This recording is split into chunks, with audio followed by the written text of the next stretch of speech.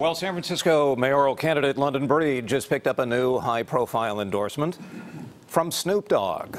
The rapper and entrepreneur today posted this video showing every San Francisco mayor since 1850.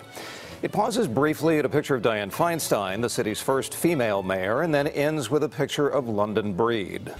Dogg lives in Southern California, so he cannot vote for Breed. Her campaign says the endorsement came as a surprise. Breed, of course, is one of eight candidates who have qualified to run in the special election on June 5th.